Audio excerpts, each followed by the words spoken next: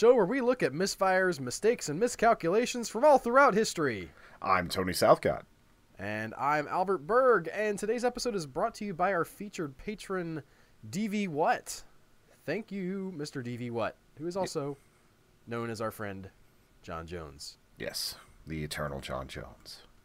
Tony has the bad idea for us this week, partly because I'm sick. Tony, what do you got?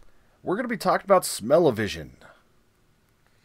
Mmm, smell-o-vision. That that smells never gonna go bad, Tony. Yeah, have you ever like just really wanted to sniff a podcast before? No, but now I'm wondering if that's just sort of a huge gap in my knowledge that I should have been trying to fill this whole time. No, but there there are some uh, interesting products out there that have tried to do this for modern times. But we're talking about a much much older version of smell-o-vision. Okay, well, what is smell-o-vision, Tony? I know what it is, but for the conceit of the show, I would like for you to tell me what exactly are we talking about? Smell-o-vision, at its base, is a way to insert smells into movies. Not like the popcorn that's already in the theater. No, like I say, And the dude who's sitting next to you hadn't showered in three days. no. This is this is a way to make it so that you're more immersed in the film itself by adding a certain scents that can clue you into things that are happening, or to make an aroma of something that's on screen appear, and just make it more more potent, I suppose. Okay. So, in the age of new 4D cinemas that will actually blow wind in your face, spray you with water, and send titillating vibrations through your seat, there's something that is severely lacking. With new cameras, we can see and identify the type of bacteria floating in each blackhead on Superman's nose. We can see his wonderful edited mustache, but we can't smell the man. We can't tell if he's washed that suit for ages or if the yellow sun also makes his already overpowered self smell like cookie dough. Man, I know this is a bad idea, Tony, but what you just pitched to me, the idea that you could actually have the dissonance of seeing something look clean on screen but smelling that someone had not taken a shower in a while, actually sounds pretty compelling as an information and storytelling device. Yeah, just like I imagine that some of the times that say Daredevil is like rushing into a court case after he's beat people up, it's like I bet you a lot of times he didn't have time to go to the shower. He's probably in a really nice suit, but he probably smells pretty ripe. Could be. But yes, this lack of olfactory sensation is so flow breaking. Where are you, science? Why have you forsaken us? Well, it turns out cinema owners and scientists have tried this before. The idea of smell-o-vision has surely been around since the times of early theater, but has been tried as early as 1906 in cinemas when perfumes would be manually wafted in. The early att- 1906, really? That early? yeah, some of the earliest ones were basically you would put a rag soaked in rose oil in front of a fan during a no- newsreel about the, the Rose Bowl or something along those lines. Very basic sense that it just piped into a theater. It's not near as precise as some of the things that we'll talk about here in a little bit, though. Okay. Other attempts were made, but perfumes would linger for days. When you're trying to set a certain scene, you really don't want the whole theater to stink for several weeks, especially if it was a mix of different scents for different parts of the movie. Walt Disney originally wanted to add some sort of smell-o-vision to his production of Fantasia in 1940, but decided against it due to the cost. You know, that's interesting. I just got done reading a book about the early years of Walt Disney. Uh, for those who are interested, it's called the. for those who are interested, it's called A Mouse Divided, and Walt Disney was not above spending a lot of money to get the effects that he wanted in his cartoon. So if he said it was prohibitively expensive, it was prohibitively expensive. Yeah, and we're going to get into some numbers about that here soon. It wasn't until 1939 that true smell-o-vision would be realized. Swiss inventor Hans Laube came up with a system that would place small pipes in every seat and have a central distribution system with cartridges that were controlled by a projectionist. So it would be like you have your cartridge, projectionist pushes a button when a certain thing shows up on screen. It wafts you with, I, I don't know, probably flower scents based on what I know about this technology, Tony. Well, it was a lot of different scents. Sometimes it would be gunpowder if you're in the middle of like a western gunfight, things of that nature. I, okay, I could see that. That would be a good one. Yeah. He debuted this invention at the World's Fair that year, but he was not able to find a studio that was interested. Michael Todd Jr. and his father were looking for ways to enhance the, their production of Around the World in 80 Days. So he took this invention and made it automated. The cartridges were on a belt timer, and at certain points, the cartridge would be pierced and a scent would be blown into individual air, air vents under each seat. At a cost between fifteen thousand at the very low end and a million dollars for large theaters, which is about one hundred twenty-one thousand or eight million in today's dollar, a theater could have this system for themselves. That's a lot of money to have a real nice production of Around the World in 80 Days, Tony. Yeah, like I'm sure that the movie deserves some really good production values, but I don't know if very many theaters were wanting to pump a million dollars of 1939 money just to make it smell a little bit. I'm actually not sure that it was worth that. I don't think I've ever seen a production of Around the World in 80 Days that was worth anything like I've that never kind seen of it. expenditure. If I'm entirely honest, I've never seen it. I've only heard of it. Okay. Wasn't that like a Jules Verne book or something? Yeah, the book is fine. I think I I read like the like young readers abridged version back when I was 12, so they're probably younger than that. The first movie designed to employ this was The Scent of Mystery. The smell-o-vision would actually reveal certain details about the killer, and usually it would be the smell of tobacco smoke, so you would know that the person was in the room or nearby, and it would reveal certain aspects of the plot to the people watching. This is one of those instances where I feel like I could probably guess the problem with this specific implementation. What, that people would smell like cigarettes? Everybody smoked back then. It was good for your lungs. That well, okay, so that wasn't where I was going to go. I- I was going to say, and I imagine you're going to get to this as a problem with the larger technology overall, is that once you've pumped the smell of cigarettes into the theater, it's not like it's just going to go away immediately when the next scene starts. Very much so. It's just one of those things that lingers. I also wonder how many people would actually be nose blind to that scent with how much people smoked back then, or if you could just smoke in the theater anyway.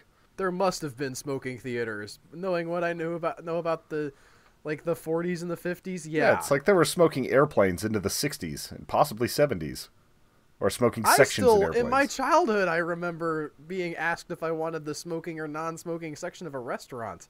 yeah, Thank goodness that's over.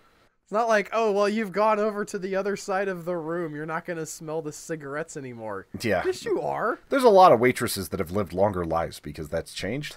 That actually reminds me of my grandpa. Like one of the only times I've ever seen him visibly angry at somebody was uh, the waitress came up to our table while we were at this place, the Ever Open Cafe, and he's like, "This is the non-smoking section," and the waitress was smoking a cigarette while taking her order, and she said to him, "Yeah, the government's always trying to tell us what to do."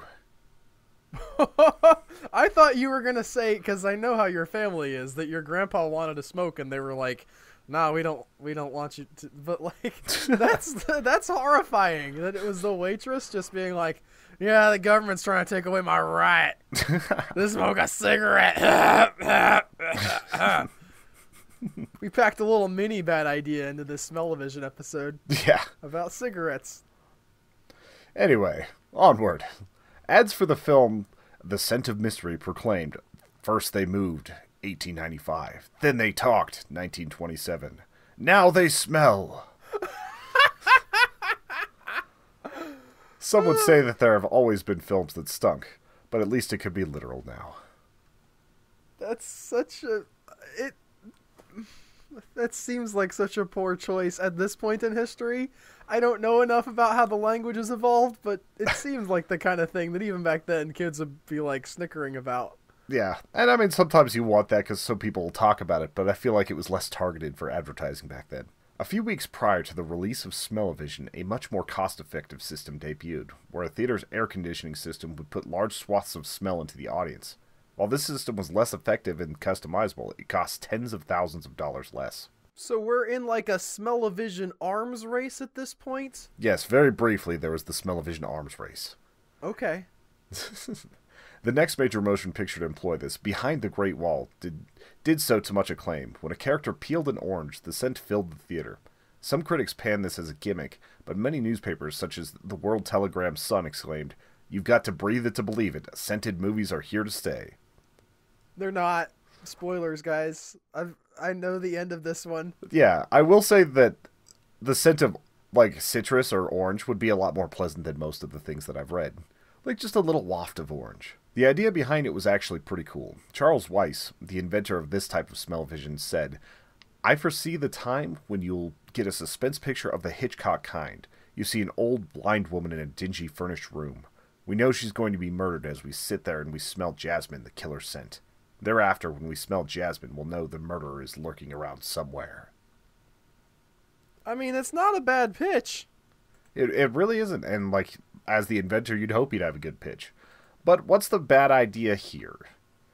Inconsistent mechanical problems plagued the first few films, where some parts of the theater would be blasted with fragrances, other parts would be barely touched. So if you're sitting directly under the vent, you get an entire theater's worth of lavender just shoved right in your face. And then people in the middle probably wouldn't get anything. This led to many people loudly trying to smell the movie in the dark, sucking through their nose loudly. Along, it's okay. Along with this, it's very difficult to clear some pungent scents from the room fast enough. Taking the citrus scent of the air could take most of a movie, and it would be combined with other of 72 possible scents that were made with this particular smell-o-vision. Now, this sounds like it was a particular problem of the air conditioning smell-o-vision variety. You did Yeah. mention earlier that there was one of these systems that had a smell for every different seat, and I would assume that that at least wouldn't have the problem of getting the smell to everybody. Yeah, whenever you had the the individual pipes going to every seat, it was just a very small puff. So it really didn't linger around that long. It was it's the much better and the proper system to use. It's just so expensive. The AromaRama systems that cost far less still cost a bit too much. You're still talking about tens of thousands of dollars in 1960s money for a system that really didn't add much or sell that many more tickets. At this time, there were actually a lot of other gimmicks being used to draw people into the flagging movie audience. People were switching to TVs in their homes, and filmmakers were desperate for ideas on how to get people back into the seats. Here are just a few examples. Horror director William Castle tried the following. For his movie Macabre in 1958, attendees are guaranteed $1,000 in compensation if they literally die of fright during the screening. No one died. Also, it's hard to collect. Yes. House on Haunted Hill, 1959. A skeleton flies over the audience, mimicking the ending of the movie. Which, have you ever seen the 1959 version? I have, yes. It's so campy at the end. It's so, like, it looks so bad, that skeleton. It's just like, oh, it's a marionette. And then you t- find out it actually is a marionette. It's bizarre. I read some accounts at the time that said that the gimmick, when it was done well, was actually one of the more effective gimmicks of the time. I could see it, like, especially if, if you're experiencing a horror movie and all of a sudden there's just like a skeleton whirling around you above. That Right, could be it's interesting. I was more talking about the movie itself. Right. I don't know how audiences were at the time. Obviously, to my modern eyes, as someone who has seen uh, many more horror films and been frightened by much more effective scares, it's not that scary, but uh, maybe at the time it was relatively frightening, and this added a little extra punch. I could definitely see that. The next one he did was The Tingler in 1959, and audience members had their seats rigged with electric buzzers. Which, it- one too. If you look up The Tingler, it's actually a really nasty earwig looking bug thing. And that would be a pretty freaky if you're just really immersed in a scene and all of a sudden you're like you start feeling this buzzing deep inside your seat. Was that what the movie was about? Was this bug that gets in your ear? I it definitely was too big to fit in your ear. I was saying it looks like an earwig type thing. Oh, okay, It's kind of that have to watch it 50s monster movie thing where just everything's huge. okay. Other filmmakers tried to do some of the following. 1974, Sense Surround, which added a massive low-range speakers to the movie theaters. It debuted with the film Earthquake. The vibrations caused by the bass sound effects attempted to recreate the feeling of being in an actual earthquake. The film was a success, but Sense Surround was only used in four movie theaters. I gotta say, we're we're kind of still getting that today. If you think about, I've I've been in some movies where the music and the sounds were thumpy enough and the speakers were loud enough where I felt like my seat was shaking for a minute. Yeah, I've definitely been at theaters like that. There's a XD theater in town, and if you hit the right like middle seats, man, you are just getting vibrated by how much bass is going through that. I wasn't even in a special theater, but I think it was Overlord I went to see most recently, and there was just some explosions that they mixed with the right amount of bass that just kind of reverberated the whole room a little bit. That's pretty good sound design. Uh, in 1981, director John Waters released Polyester, a black comedy featuring a new sensory, a new sensory experience he calls Odorama, inspired by Smell-O-Vision. Moviegoers are given a scratch and sniff card that correspond with moments of the film. On the film's DVD commentary, released in 2004, Waters boasts that he actually got the audience to pay to smell feces. Listen, everybody wants to smell poop with the, with one of these things. You that's like the the instant place your mind goes is like what if there was a poop? Would I smell a poop? you know somebody in the theater probably like dry heaved from that though. Oh, could be. the thing about that is that it didn't die with the Odorama. The Scratch and Sniff movie card was brought back for Spy Kids 4D, which I'm sure you're going to get to in your notes, but I, I actually didn't get Spy Kids 4D. Like I didn't I I didn't have that in these particular notes. I had some other things that have come up though. Yeah, that's relatively recent that they were still handing out scratch and sniff cards for at a movie. Yeah, I, I could definitely see that being the most cost effective option. And also, it really wouldn't overpower every other part of the movie. Although I'm sure some kids smelled it before they actually got to those scenes and got spoilers. Oh, you know it. I've got a six year old and a four year old, and they would just get in the theater, and while the previews are playing, would just be scratching away at the squares like sequentially, not even paying attention to what they were telling you to do. Just, wow, that one smells like poop, Dad. Well, that's a popsicle. It's like a poop popsicle. Yeah, just combine those scents. Meanwhile, I'm watching a trailer for Penguins of Madagascar. I I actually have experienced a form of smell-o-vision in person. Nice. Disney would eventually go and do this for some of their things at the Disney Resort, uh, most specifically the Animal Kingdom. They had a thing called "It's Tough to Be a Bug," which is an offshoot of "It's a uh, a Bug's Life," and it was interesting because you actually did get to smell like fresh cut grass, and you got to smell a few different things that were uh, that were just pumped in. I didn't like it because they also had something that jabbed you in the spine whenever there was supposed to be like a bug walking behind you. You didn't like it because your spine is messed up, not because it scared you. Oh, I was like 12 at the time, so my spine was still okay. Oh, so it did scare you. It was more that it actually hurt. Like I was leaning fully back, like because I was in one of the front rows, so just like okay. full pressure against it, and something just jabbed me badly. It was weird. Ow. well, it's tough to be a bug, Tony. Yes, definitely. What are you gonna do? One of my favorite things that actually came of this research, though, was a 1965 April Fool's Day prank by the BBC. The network aired an interview with a man who invented a new technology called Smell-O-Vision that allowed viewers at home to experience aromas produced in the television studio. To demonstrate, the man chopped some onions and brewed a pot of coffee. Viewers called in to confirm that they had smelled the aromas that were transmitted through their television sets.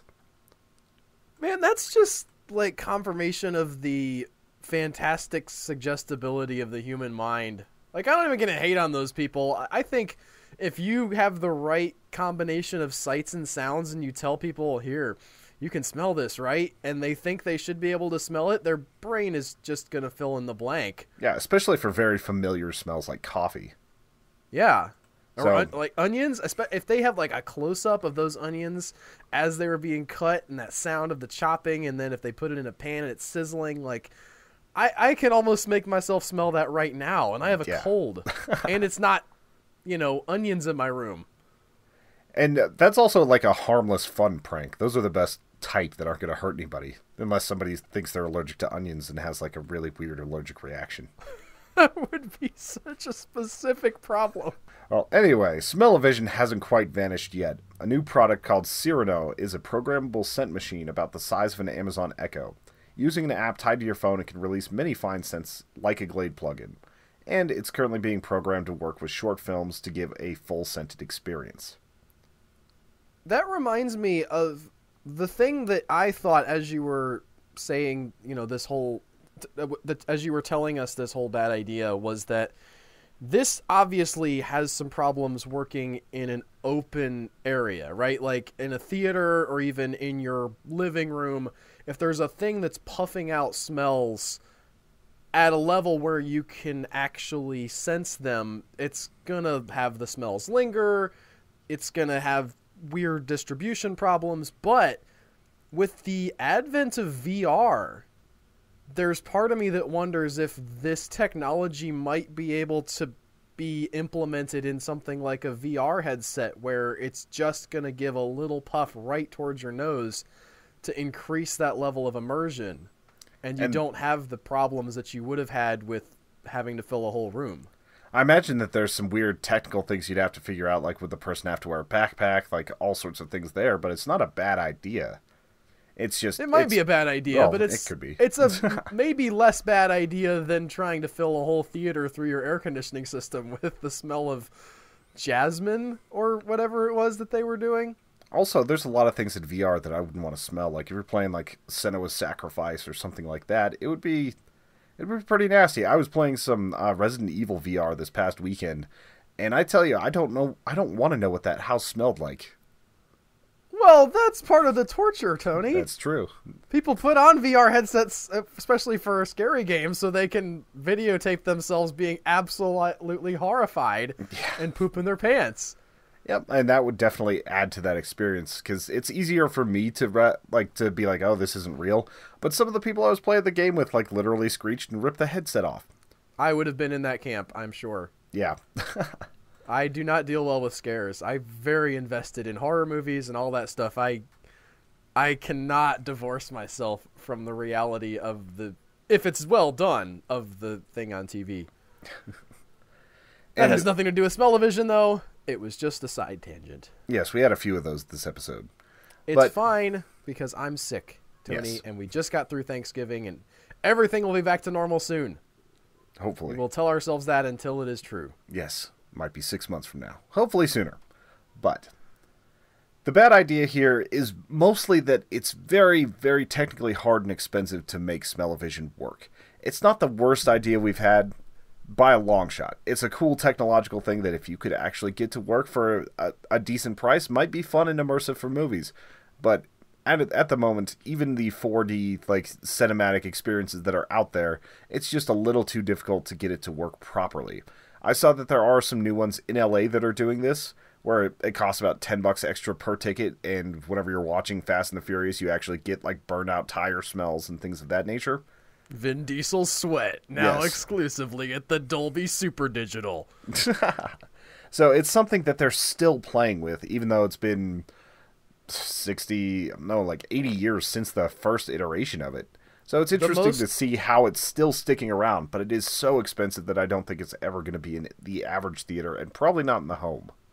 The most fascinating thing to me about this whole thing was that you mentioned that in the 60s, theaters were starting to try to find a gimmick to stop people from staying at home and watching television. And it's like nothing has changed.